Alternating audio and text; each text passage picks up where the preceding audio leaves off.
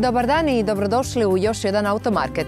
Kroz današnju emisiju provešću vas u novom Peugeotu 208 koji upravo ima domaću prezentaciju u predivnoj opatiji. A sada pogledajmo što smo sve pripremili za danas. Jure Šebalj i Miroslav Zrnčević usporedili su jedan na jedan legendarne traktore. Opel je predstavio novu generaciju Corse u Šibeniku, a u okolici Venecije vozili smo osvježeni Subaru Forester. Branimir Tomurad testirao je Dacia Duster 4x4, a sjeli smo i za volan moćnog Volkswagen Touarega sve sa motorom. Jaguar je otkrio osvježeni F-Type, a Jura je provjerio kako ispravno ugraditi i atestirati kuku. Budite s nama! Peugeot 208 praunuk je popularnog Peugeota 206 koji je bio pravi hit na gradskim cestama, a isto se očekuje i od nove 208. Iako se najčešće voze asfaltom, Jura i Mrgud nisu stranci niti u blatu. Tako su ovog puta odlučili usporediti jedan na jedan dva legendarna traktora.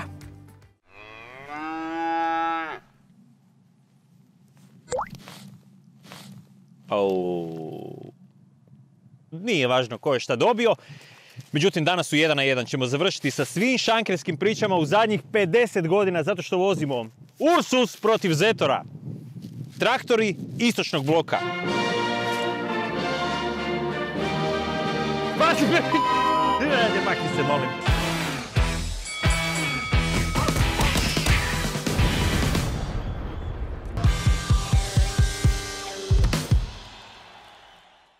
Zetor i Ursus tiha su patnja svakog poštenog seljaka iz ondašnje države. Ako je Fićo motorizirao Jugoslaviju, ovi traktori su je doslovno nahranili.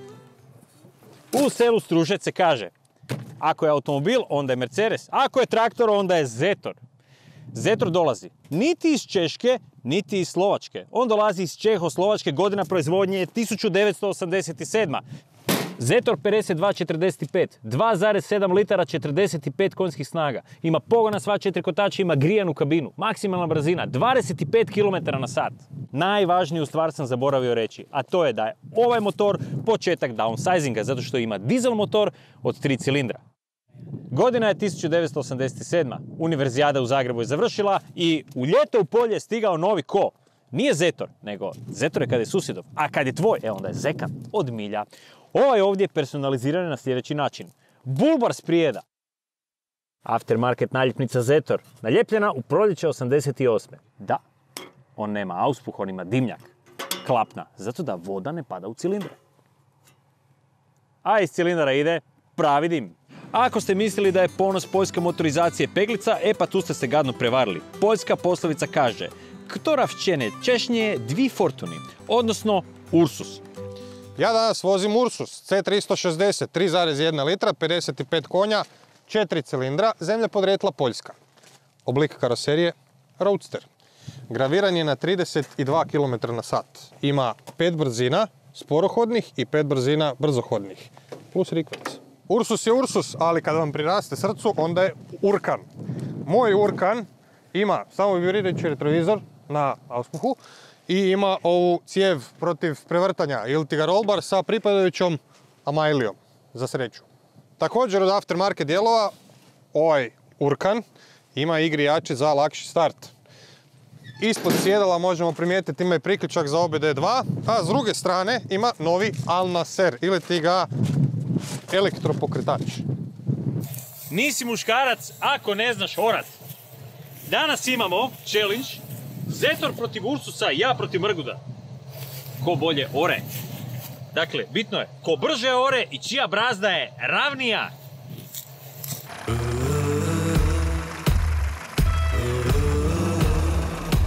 Kume, sad svoj.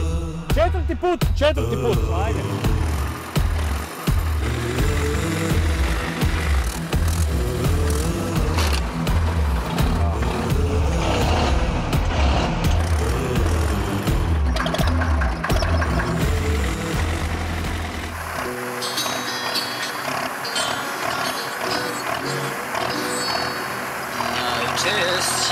Najczęstszemu, najczęstszemu budżecie Cię kocham najczęściej, częściej go sada Częściej mi cię najczęściej, odwoła ten nie ma. Częściej, częściej, najczęściej, Polak częściej sebryna Częściej życie odguści, na uściu zwraca Polską paszczę najczęściej, częściej on do życie Paszczy częściej, czekasz čekaše Na što zobama grožđa S moždim pašće tada ja.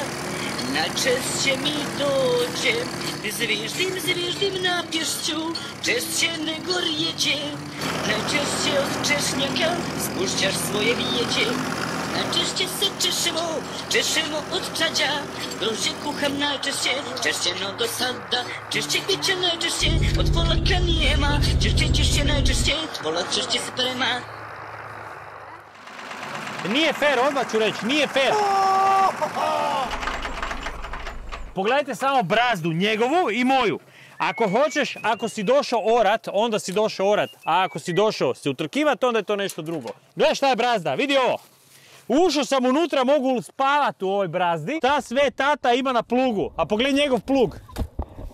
Ko cura! Nema ničega! Mali mačići dublje grebu od ovoga. Hvala lijepa, doviđenja. Izgubio je. Fair and square. Ja sam pobjedio, ti si pobjedio u utrkivanju, ali nismo došli utrkivat se, nego orat.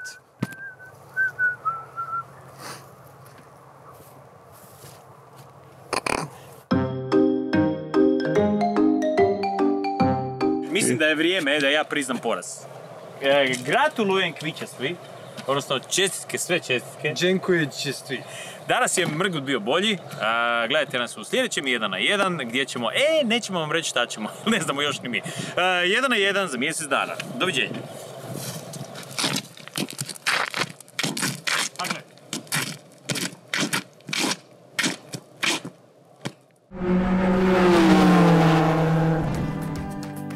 Konkurencija u klasi malih gradskih automobila je mnogobrojna. Nedavno je predstavljen novi Clio, a ovog tjedna mi smo osim Peugeota 208 vozili i novu Opel Corsu. U Šibenik se uputio naš Branimir Tomurad. Dobrodošli u Šibenik, danas vozimo novu Opel Corsa. Nakon milijuna proizvedenih primjeraka i činjenice da je bila ne samo modern, već i jedan od prvih globalnih automobila svoje klase, Corsa je dogurala do ove šeste generacije. Moderna, zaobljena, napravljena na modernoj upotrebljivoj platformi koja je jako fleksibilna i nudi mogućnost struje, dizela i benzina za pogon. I sve verzije silaze s iste trake. Čim se zagledate u dizajn, pažnju će vam zaokupiti bijeli ili crni kontrastni krov. Usto, kada otvorite vrata, pronaći ćete nove digitalne instrumente. A kakav je osjećaj uživo? Materijali pod prstima su solidni, infotainment dosta velik i dominira interijerom. Ručicu automatika lako je prepoznati i tu leži mala caka. Corsa puno dijelova dijeli s Peugeotom 208 od kad su Opel i PSA udružili snage. Dodatni ekran ispred vozača koji projicira podatke o vožnji ima sitne brojke, ali i puno informacija. Sjedala su dosta udobna i prtljažnik je konkretnih dimenzija. Sve u svemu, Corsa je ukorak s vremenom. U Opelu vjeruju kako će model s 1.2 motorom i 75 konja biti pravi volumenski. Ako želite 100 konja i turbo, doplata je desetak tisuća kuna. Razumno. A upravo je to model koji se u kratkoj vožnji po okolici Šibenika pokazao kao zlatna sredina. Svi su benzinci 1.2, najslabiji 75 konja, a dva jača od 100 i 130 konja s turbom. Ručni mjenjači imaju 5 ili 6 brzina, automatik je osmerobrzinski. Dizelaš je 1.5 sa 102 konja. Koeficijent otpora zraka od 0,29 i CO2 od 93 grama su najmanji u klasi, što pogoduje niskoj potrošnji. Iz Opela kažu da potrošnja varira između 3 i 5 litara ako ste pažljivi i slijepo poštujete znakove. Ako niste od takvih vozača i bojite se prekršaja, onda će vam pametni tempomat čitati znakove i prilagođavati brzinu ako to od njega zatražite. Sigurnosne opreme Corsa je prepuna. Držanje trake, automatsko kočenje, pametni tempomat i čitanje znakova su serijska oprema. Koliko je Opelu važna sigurnost, najbolje govori činjenica da su doplate za LED i LED Matrix svjetla doslovce smiješne, odnosno 3,5 ili 4,5 tisuće kuna. Matrix radi izuzetno, nikoga ne zasljepljuje, a vidjet ćete novu dimenziju noćne vožnje. U ovoj klasi ta je opcija velika novost. Corsa je na ovjesu oštra, ali i solidna kada ju ocjenjujete po udobnosti. Volan je dosta precizan, vozi se fluidno, ali probat ćemo ju na još nekoliko testova u automarketu. Za sada možemo još samo dodati da je uz bogatu opremu i benzinac 1.2 dostupna već za 97.400 kuna. 208 izgleda fenomenalno. Ima moderan i lijep dizajn, dok joj ova tu LED svjetla koja podsjećaju na kljove taman daju dozu agresivnosti. A agresivan dizajn odlika je i moćnog Volkswagen Tuarega sve osam motorom. Ovo je top 5 stvari koje morate znati o njemu. Volkswagen Touareg jedan je od prvih luksuznih SUV-ova uz BMW X5, Mercedes ML i Porsche Cayenne. A od samih početaka u Volkswagenu se nisu libili upariti moćne motore i svoj najveći SUV. Tako je već prva generacija dobila monstruozni V12 benzinac sa 444 konja i 600 Nm, ali i V10 dizelski motor sa 310 konja i 750 Nm, koji je u Fifth Gearu povukao jedan od najvećih putničkih aviona na svijetu Boeing 747.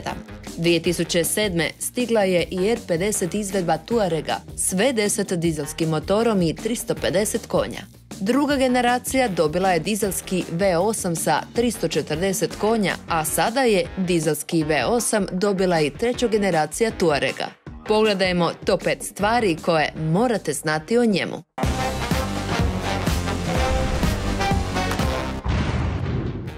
Ovaj testni Tuareg opremljen je airline paketom i kompletno je ofarban u crnom. Izgleda agresivnije i moćnije od standardnog Tuarega. LED svjetla su odlična, izgledaju atraktivno, a vožnju noću čini ugodnom i sigurnom. S obzirom da se radi o SUV-u, iako je 21-colni kotač, guma je promjera 285 kroz 40, što u kombinaciji sa zračnim ovjesom čini vožnju udobnom. Novi Tuareg dobio je i novi V8 dizelski motor sa 422 konja i čudovišnih 900 Nm. U ovom automobilu se ne vozite na konjima, već na momentu. Pretjecanja su kao od šale. Samo lagano pritisnete papučicu gasa i Tuareg ide galopom naprijed. Osmostupanski automatik standardno je dobar u Volkswagenu. Lagana gradska vožnja savršeno je uglađena, a i prilikom žustrije vožnje promjena brzina je munjevita. Gotovo da ni ne osjetite da je promijenio brzinu. Interijer je stvarno impresivan. Odličan virtualni kokpit koji pruža pregršt informacija i ovaj zaista ogroman središnji zaslon. Ovo je jedan od najvećih zaslona u automobilima i njime se kontrolira gotovo sve. Od radija, klime, navigacije pa nadalje. Pregledan je i brz i zapravo vrlo se lako naučiti na njega.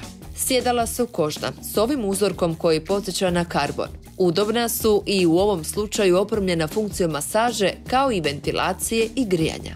Unutrašnjost je prostrana i stvarno se ugodno osjećate unutra. Ima mjesta i za glavu i ramena i noge, kako sprijeda, tako i straga. B8 dizelski motor razvija 422 konja i lansira ovaj 2300 kg težak SUV do stotke za 4,9 sekundi, a ne staje sve do elektronski limitiranih 250 km na sat. 4x4 pogon dolazi standardno na Tuaregu i stvarno radi odlično. Čak i kada je cesta stvarno skliska, automobil je stabilan i na putanji koju ste odredili. Iako ima modove i visinu podvozja koja mu omogućava vožnju van utabanog puta, nekako sumnjam da će ga itko tamo i odvesti. Ovaj Tuareg osjeća se kao doma na autocesti.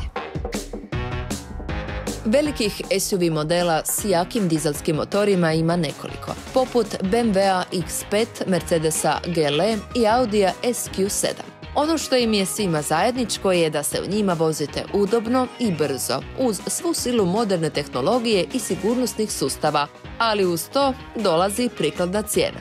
Volkswagen Touareg s V8 TDI motorom i Airline paketom opreme starta s cijenom od 805.634 kune. Često na automobilima vidimo ugrađenu kuku, a kako je ispravno ugraditi i atestirati, provjerio je naš Jure Šebalj. Za početak jedna mala pitalica. Što nedostaje ovom automobilu? Ima znak, ima svjetla, tablicu, čak i prave auspuhe. Znam ja. Kuka! Da, da bi on bio prilagođen našem tržištu, nedostaje prava kuka.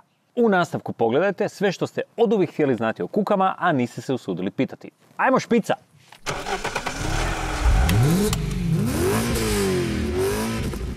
A test, odnosno homologacija kuke, dokazuje da je upravo taj model nosača i kuke prošao stroga ispitivanja. Na taj način ćete biti sigurni da ste sigurni na cesti. Kuka se pričvršćuje u već predviđene rupe na šasi automobila koje je predvidio sam proizvođač i automobila i kuke. Tako da možete računati na određeni standard kvalitete. Svi dijelovi koje stavljam gore su pocinčani, tako da neće biti problema sa solnjem na našim cestama. Glene, ne možeš ti toliko brzo snimat koliko ja brzo mogu svoju kuku staviti. Ovo je moja prva kuka. Strujna instalacija isto tako mora imati atest, upravo kao ova ovdje, i ona se sastoji od nekoliko jednostavnih elemenata. Kako moderni automobili imaju kompliciranu strujnu instalaciju, modifikaciju će najbolje napraviti ovlaštena radionica. Evo ga, struja je gotova i višnja na šlag svake kuke je plastični poklopac. Ugradnja kuke je gotova, ono što sad predstoji je drugi dio posla, a to je legalizacija, odnosno atest u stanici za tehnički pregled. Ajmo! Postupak legaliziranja kuke je jednostavan. Nakon ugradnje mehaničke spojnice od strane ovlaštenog servisa morate voditi računa da je vaša mehanička spojnica, takozvana kuka, e, odobrenog i ispitanog tipa. Upravo zato morate slijediti proceduru. Prvo, vozilom dođete u Centar za vozila Hrvatske. Drugo, predate zahtjev s dokumentacijom koju ste dobili s kukom. Treće, dopustite da sustav Centra za vozila Hrvatske odradi svoj dio posla. Djelatnici će provjeriti sukladnost sa stvarnim stanjem na vozilu, te ako je sve u redu, odobriti vaš zahtjev, a postupak odobrenja pratite putem interneta. I za kraj, zašto je to sve tako strogo? Zato što je ispravnost priključnog vozila izuzetno važna na cesti i oko toga može diskutirati samo Centar za vozila Hrvatske. Ispravno ugrađena mehanička spojnica, odnosno kuka, vrlo je bitna za sigurnost svih sudionika u prometu. Upravo tako, jer ispravno je sigurno.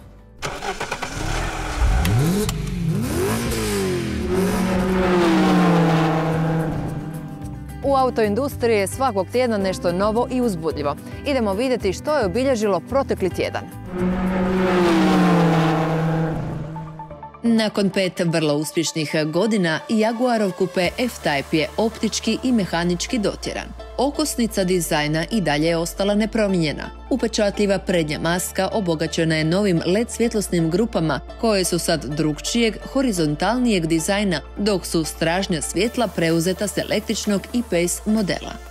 Stražnji kraj krase četiri završetka ispušnih cijevi te novi difuzor. U unutrašnjosti nudi više tehnologija usmjerenih prema vozaču, uključujući 12,3-inčni TFT virtualni kokpit, Touch Pro Infotainment sustav i smartphone pack s podrškom Apple CarPlay i Android Auto. Vrhunski zvučni sustav Meridian nudi novo iskustvo u reprodukciji zvuka. Prvih godinu dana na raspolaganju će biti i model F-Type First Edition. Ima kožna sjedala u boji ebanovine, kokpit obložen u alkantari i aluminijske polugice mjenjača. U ponudi su osnovni četverocilindrični turbobenzinac koji ispucava 300 konja, te moćni V8 motor koji razvija 450 ili 575 konja, ovisno o izvedbi. S obzirom na odabranu motorizaciju, ovaj sportaž posjeduje i aktivni ispušni sustav. Kod ovjesa su novi prilagodljivi amortizeri, opruge i stabilizator, a straga su svi zglobovi čvršći kako bi pružili još veću okretnost i fleksibilnost. Naravno, kao i do sada, dostupan je kao kupe ili kabriolet, te s pogodom na stražnje ili sva četiri kotača. Ovaj Peugeot 208 opremljen je dizelskim motorom koji ima 100 konja, a u ponudi se još nalaze benzinski i dizelski motori u rasponu od 75 do 130 konja. A sljedeće godine stiže i potpuno električna izvedba.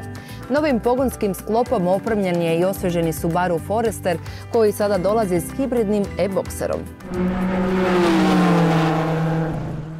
Subaru je poznat po svojim bokser motorima i po tome što se njihovi automobili jednako dobro snalaze na cesti i izvan nje, zahvaljujući pogonu na sve kotače.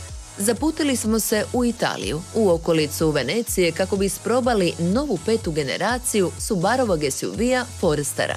Izvana su promjene minimalne. Spreda pronalazimo novi branik s nešto agresivnijim linijama i uspravniju i veću masku. Tu su i nove boje i felge, ali najveće promjene izvana vidljive su straga. Potpuno drugačiji dizajn svjetala i ova nova sjajno crna maska iznad tablice.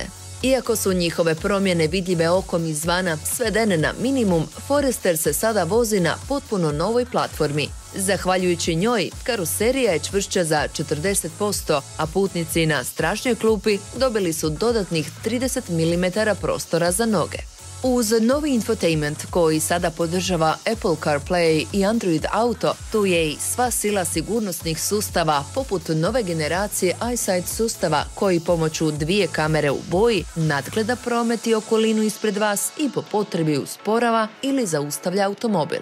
Tu je i sustav koji pomoću kamere i senzora u interijeru pazi na umor i dekoncentraciju kod vozača, te ga na to upozorava. Isti sustav ima i zgodnu mogućnost gdje je prilikom ulaska u vozilo, zahvaljujući prepoznavanju lica, može podesiti sjedalo i volan prema vašim unaprijed zadanim postavkama. U Subaru su naprijedili i X-Mode sustav koji sada radi i u dubokom blatu i snijegu što smo imali priliku isprobati iz prve ruke, zahvaljujući kiši koja je padala danima prije našeg dolaska. Ono što Forester može na offroadu, ne da samo mali broj drugih SUV-ova može, nego se toga ne bi posramili niti pravi terenci. Zahvaljujući stalnom pogonu na sve kotače i razmaku od tla od 22 cm, što je u rangu Land Rover Discoverya, prošli smo sve prepreke stavljene pred nas. Od dubokog blata i lokvi, strmih uspona i silazaka, pa do prolaska zahtjevnim šumskim putevima i to sve na standardnim zimskim gumama. Forester je udoban kako na neravninama, tako i na autocesti. Najveća novost kod Forestera je novi hibridni e-boxer motor. Razvija ukupno 167 konja, a samo na struju prelazi nešto više od kilometra. Hibridni pogonski sklop ovdje nije niti zamišljen kako bi vozili samo na struju, već kako bi poboljšao odaziv na gas i smanjio potrošnju goriva do 11% u odnosu na benzinski motor. Baterija je smještena u podnici prtlježnika na mjestu gdje se prije nalazio rezervni kotač. Zahvaljujući tome, prtlježnik je malo veći nego kod prethodnika, te sada zaprima 509 litara. U Subaru ističu garanciju od 8 godina ili pređenih 160 tisuća kilometara na bateriju. Novi Forester na naše ceste stiže s početnom cijenom od 315 345 kuna. Dacia Duster s 4x4 pogonom cijenovno je jedan od najprihvatljivijih ulazaka u 4x4 svijet. Ovog puta testirao ga je Branimir Tomorat. Duster smo uvijek voljeli zbog njegovih terenskih sposobnosti, ali i zbog kratke getribe i dobrih voznih osobina. Ovo sada je 1300 kubika, benzin, turbo 150 konja. Da, ovo je benzinac broj 1 u Dusteru. Ima i pogon na sve kotače i unatoč malom obujmu voli pokazati mišića ako ga se dobro nagazi. Novi motori u dobrim starim znancima uvijek su dobra kombinacija. Duster se već pokazao robusnim, kvalitetnim i pouzdanim autom. Možda je na trenutke grub i jednostavan, ali sve to dobro ide u priču auta koji voli makadam puno više od svih ostalih SUV modela na tržištu. Duster nije terenac, niti to može biti, ali je zato vraški sposoban SUV izvan ceste. Zato je vjerojatno najbolji izbor za one koji se puno vremena voze makadamom ili jednostavno lošim cestama. Je li ovo najbolji Duster ikad? Hajmo vidjeti. Benzinac je neusporedivo življi i puno bolje reagira na gas od dizela koji ima 115 konja. Ali, Duster je s ovim motorom zamalo pa zvijer. Osjeća se manje obujam, treba kasnije prebacivati brzine i puštati ga da se vrti, jer tada puca od snage. Odakle ovaj motor u Dusteru? Zajednički su ga razvili Renault i Mercedes. Turbo rupa nije jako izražena, ali nekim situacijama valja se prilagoditi. Na primjer, ne morate uvijek krenuti prvom, možete i drugom. Duster nema reduktor, ali prva je dovoljno kratka da s malo zaleta i vještine odradite i neki lakši off-road. Duster je super zato što je dovoljno visoko tla, vrlo robustan, ima ove krasne plastike, ali odlične obloge pragova koje su sjajne po kamenčićima. A kamenčića će biti, jer Imati Duster i ne voziti se makadamom prava je šteta. Ovi se dovoljno mekan, stabilizatori sprečavaju naginjanje, a zbog lagane konstrukcije osjeća se gibkost i može se juriti i prebacivati težište s lakoćom. Možete li driftati? Ne baš. Iako ima birač za pogon, možete se voziti u 2VD modu ili u 4VD auto modu, koji će stražnji pogon ukopčati tek kada prednji kotači prokližu. U poziciji lock imate stalni pogon na sve kotače jer je spojka spojena, ali kako iza nema špere, za zabavna proklizavanja treba ulagati jako puno truda. Ako je praktičan na terenu, ne znači da je takav i u prtljažniku. Ovdje nešto litara fali za današnje pojmove, ali barem imate veliki rezervni kotač. SUV bez prave rezervne gume je kao nebo bez zvijezda. Vjerojatno ćete kad tad jednu probušiti i s rezervnom krenuti kući. Stražni diferencijal zauzima puno prostora pa je podnica u prtljažniku zbog toga visoka. Što se tiče interijera, on je dovoljno komotan. Što se tiče dizajna, Duster je oduvijek bio spartanac, pravi alat u kojem je funkcija bitnija od izvedbe nebitnih plastika. Dakle, od luksuza tu su kožni upravljač sa ovim komandama tu, daljinski za radio, jedan solidan infotainment, red tipki, red automatske klime, šest brzina i to je to. Od važne opreme tu je kamera koja pokriva sve kuteve oko automobila, a tu su i gusto postavljeni parking senzori. Navigacija, klima i svi ostali detalji su također tu. Ovo je ipak najbolji model. Za kraj, pitanje je kakav je Duster na cesti kada jurite zavojima. Vrlo dobar. Dovoljno je oštar, ne naginje se jako, ima dovoljno gripa. Imali smo i 17-solne kotače koji su dobra mjera između oštrine i udobnosti. Ne možete očekivati čuda kao u malom automobilu, ali jedno je sigurno. Duster je predvidljiv, lagan za vožnju, ne zastrašuje kada počne proglizavanje. Ukratko, jako dobro izbalansiran auto, a zamislite ima već skoro 10 godina na leđima. Na makadamu prolazi s odličnim, a koliko troši? Može 7, ali mi smo s guštom trošili oko desetke. Da li je ovo najbolji motor ikad stavljen u Dacia Duster? O, da. Ovog tjedna Hrvatski ured za osiguranje u suradnji s Centrom za vozila Hrvatske i svim osiguravajućim društvima u Republici Hrvatskoj predstavili su novu digitalnu policu osiguranja od automobilske odgovornosti. Svaka polica koja se osiguranja automobilske odgovornosti koja se sklopi diljem Hrvatske u vrlo kratkom vremenu dostavi elektronskim putem na sve, na sve stanice za tehnički pregled u Republici Hrvatskoj. Nakon što ugovorite policu osiguranja, više neće biti potrebno istu nositi sa sobom na tehnički pregled kako bi obavili registraciju. Digitalna polica, odnosno digitalna razmjena podataka je dostupna uvijek bilo gdje da ste ugovorili policu osiguranja, bilo kod vašeg agenta ili putem nekakvog web shopa ili u banci osiguranja ako se u banci eventualno prodaju police automobilske odgovornosti. Još jedna od pogodnosti digitalne police osiguranja je to što istu više neće biti potrebno nositi sa sobom u papirnatom obliku. Ukoliko vas zaustavi policija, njima možete istu predočiti u digitalnom obliku, a u krajnjem slučaju i oni sami mogu provjeriti je li vozilo osigurano. Moja vožnja s Peugeotom 208 za danas je završila. Cijelokupni izvještaj iz prezentacije možete pogledati sljedećeg vikenda, kada donosimo i novu dozu oktana i adrenalina. Do tada, kao i uvijek, pratite nas putem Facebooka, Instagrama i YouTube kanala. Lijep pozdrav!